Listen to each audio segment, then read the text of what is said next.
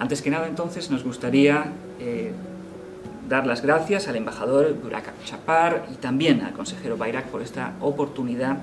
para compartir ideas y debates sobre un tema que nosotros entendemos como pertinente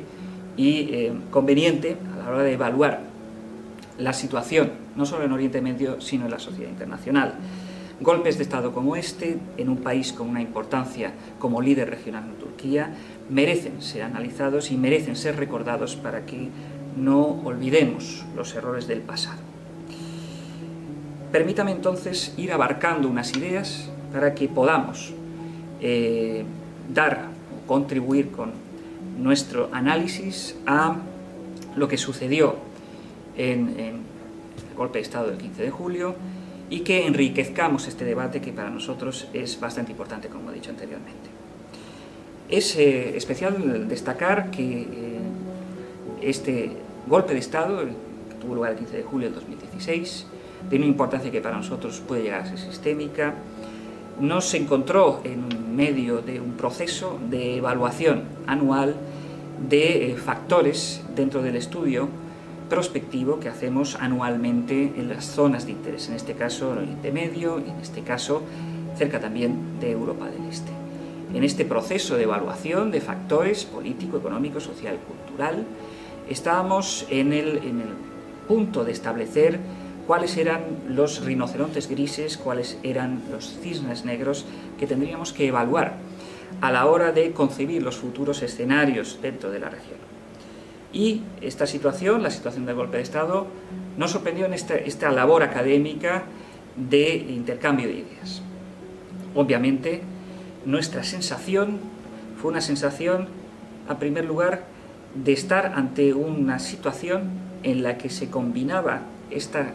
efecto buca en una situación geopolítica. Vimos la celeridad de los acontecimientos, volátiles, inciertos, complejos, ambiguos. Nos sorprendió también el hecho de una conclusión rápida y también nos dimos cuenta de que había una conjunción con otros fenómenos que analizaremos posteriormente, como el fenómeno del Brexit o el fenómeno de las elecciones de Norteamérica, que nos hizo eh, sacar una idea eh, esencial de lo que estaba eh, sucediendo. También pensamos en que quizás estuviésemos ante una segunda oleada o tercera oleada de lo que se llamó la primavera árabe, que sucedió hace unos años, pero después concluimos que quizás estuviésemos ante una conexión con un un escenario eh, muy caliente dentro de la región, como era el escenario de Siria, y de intentos de actores, diversos actores, para expandir su influencia por inestabilidad de otros actores en cuestión. De todos modos, eh, eh, nuestra sensación, como hemos dicho anteriormente, era de no solo asombro, sino también el, hecho de, esta violencia, de, de este factor buca en cuestión. Como académicos, también y como eh, estudiosos de las eh, relaciones internacionales y de la diplomacia, nos dimos cuenta también de que había un elemento de frustración, aunque fuera inicial, dentro de estas situaciones. Frustración que lleva a que se desencadena cuando hay un fracaso de las instituciones y se intenta cambiar las situaciones por medio de poder duro. Esto lo hablaremos posteriormente. Obviamente nosotros, eh, como ciudadanos españoles, parte de la esfera europea, pero también dentro de un país que es cruce de caminos, mediterráneo, europeo, pero también americano, somos sensibles ante este tipo de situaciones. Y eh, en el caso de haber sufrido un bombardeo en nuestro Parlamento y haber sido tomadas nuestros canales de comunicación, habríamos también experimentado lo que pudieron haber experimentado, haber experimentado perdón, muchos ciudadanos turcos ante esta situación, una situación de violencia. Recordamos que FSI es un think tank académico basado en una idea, en la idea de que, el paz, de que la paz, que es el orden en el sosiego, puede conseguirse a través del conocimiento. Un conocimiento no solo de, desde el punto de vista académico, sino también un conocimiento de las necesidades, de los retos de una sociedad. Ante esta ausencia del conocimiento viene la inestabilidad, ante esta ausencia de conocimiento viene el conflicto.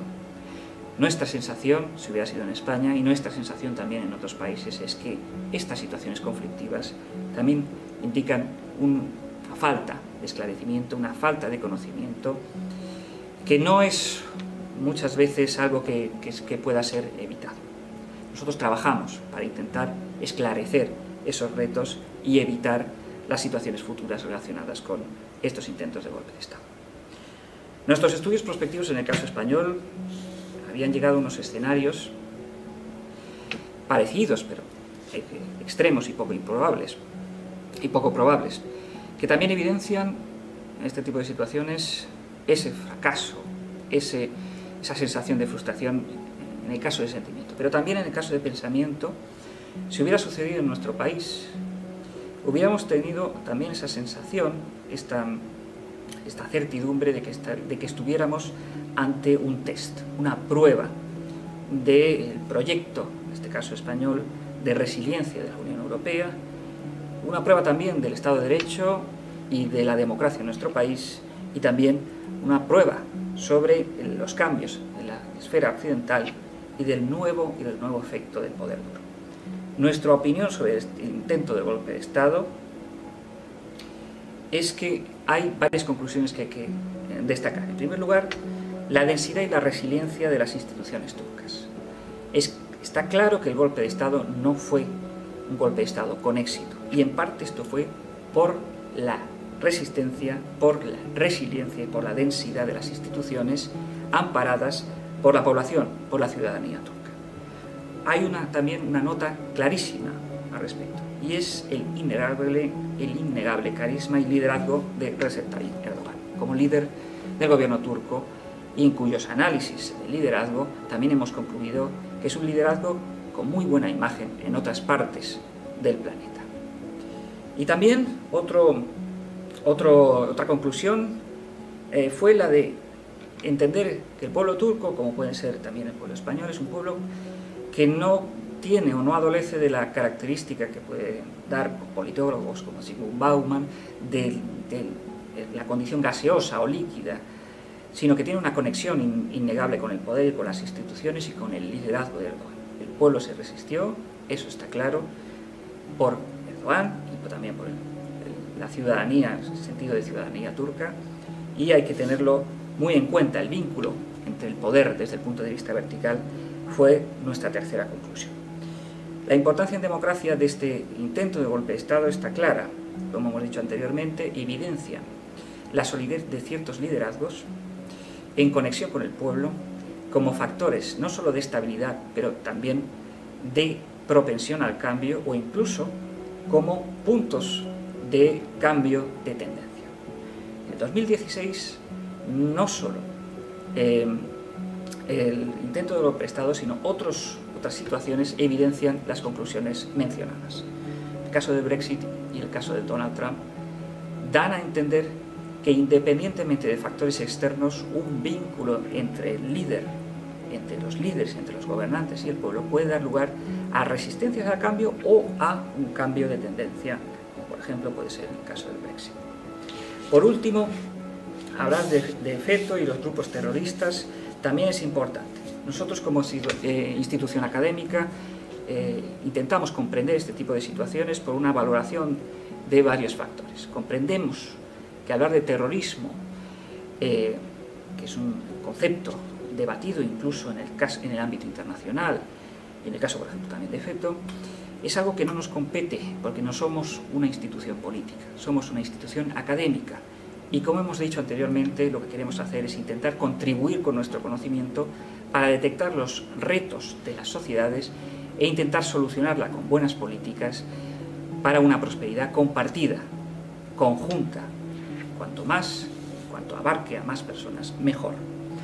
Por ello, hablar de terrorismo es también hablar de ciertos matices, que nosotros también complementamos con otros factores, como económicos, como culturales, como sociales, como tecnológicos o incluso como religiosos. Nosotros cuando evaluamos los actores evaluamos su autonomía, su influencia y su durabilidad. Es importante también destacar que en el caso de Feto no tuvo esa influencia capaz de erosionar las instituciones turcas que, que resistieron ante este intento de cambio de las reglas de juego. Pero también tengo que expresar que como institución no somos unos analistas fríos, sino también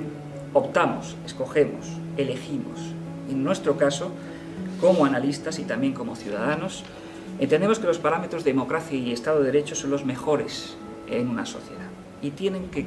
establecerse también como unos elementos valiosos a la hora de establecer análisis de este tipo de grupos, en el caso de efecto, grupos terroristas. Porque para nosotros la democracia y el Estado de Derecho aprovecha la energía social, da durabilidad y proyección en el tiempo a los proyectos sociales y también da una cohesión generacional. Compartimos la idea que una sociedad eh, está mucho mejor planteada cuando los actores juegan con las reglas de la democracia y el, y el Estado de Derecho. Un grupo terrorista que no juegue con esto, un actor que no juegue con esto, obviamente, hace perder a una sociedad. Nosotros también entendemos que la violencia per se no es un factor de cambio a larga duración. Puede ser un cambio a corta duración, pero necesita esa base que proporciona la democracia y el Estado de Derecho para una durabilidad de una proyección o de un proyecto futuro. Como dice uno los, de, las figuras que nosotros analizamos desde el punto de vista histórico, Charles Maurice de, de Talleyrand, un diplomático excelente francés, decía que con las bayonetas se puede hacer de todo menos sentarse encima de ellas. La violencia, el poder duro, no da estabilidad. Puede dar cambio, pero el cambio tiene una probabilidad de no ser estable en el futuro si no se complementa con otras cosas o si se plantea simplemente eh, como un, factor de, de, ruptura. Y ya después acabadas estas eh, preguntas, permítanme eh, y estas respuestas, permítanme dar las, las, gracias y agradecemos mucho a la Embajada de Turquía, estamos a su plena disposición para seguir este debate y para contribuir con nuestras ideas al beneficio y a la prosperidad de la sociedad turca y la sociedad española. Para nosotros eh, es importante seguir con estas ideas para, como hemos dicho anteriormente, detectar los mejores o los retos del futuro y, y apoyar las mejores soluciones. Muchas gracias.